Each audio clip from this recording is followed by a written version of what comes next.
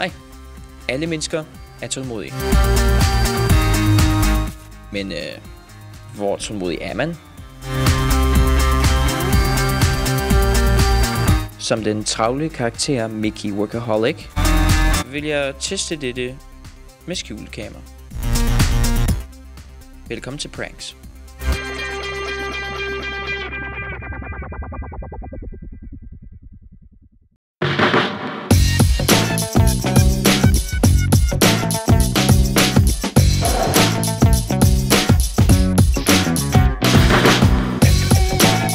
Undskyld, undskyld. Kunne I måske lige holde min hund? Jeg skal lige to, to sekunder ind. De to. I skal bare stå her.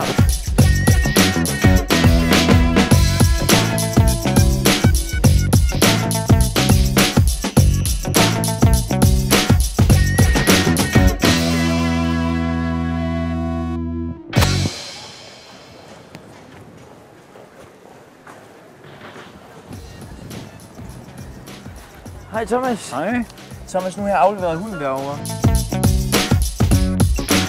Hvad er tålmodighed? Kan du fortælle lidt om det? Tålmodighed er måske vores evne til at udsætte skal sige, vores tilbøjelighed til at gøre noget, eller at have lyst til at gøre noget. Og det, det ligger lige bag panden her. Ja. det, det er i hvert fald et, et område, altså pandelappen er meget, meget involveret i det. Og det ved vi, fordi at hvis man nu får en skade i det område, jamen så, så, så er vi meget utålmodige. Ej, hvor kom den af?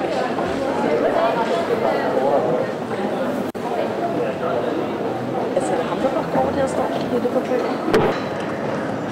Jeg forstår ikke, hvorfor han ikke bare kunne binde den til en ja, stolpe. Så er det en efterlyst hund, sådan.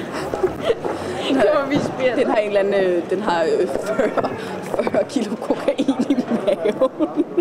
Unge, teenager og børn, de er måske dårlige relativt til at, at udsætte behov for eksempel.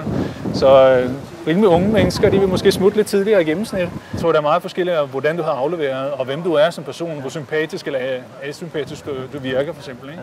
Så jeg tror helt klart, at der er noget med hvem, og også hvilken tilstand de selv er i. Er de selv på vej fra A til B, eller, eller har de, går de bare slindre hen på, på strøget? Ikke? Jeg svæver, han er der ikke.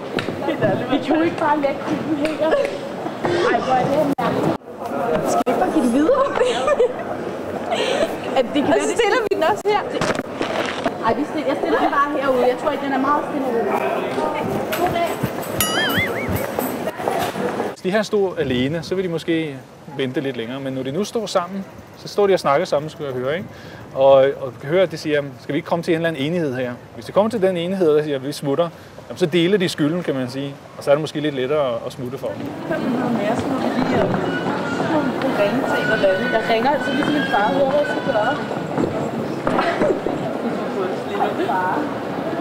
Men vi, vi går meget af, hvis vi siger, en mand, der kommer ud her. Ja, tag dig nu ud, jeg skal lige... Så, så, så holder vi, så står vi sådan, så siger kom nu lidt til møb. Og nu er han væk. Hvad sker? Og nu er han væk, fra. Han er væk.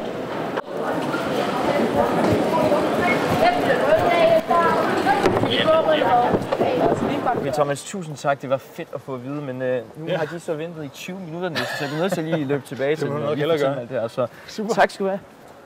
Undskyld mig alt det, jeg kunne. Var det lang tid? Hvad? Var det lang tid? Ja, det var meget, meget lang tid. Ej, ej, blev, ej, gjorde I det? Det er kamera. Nej, det er. Vi overvejer fald, så gå ned på politistationen og aflevere.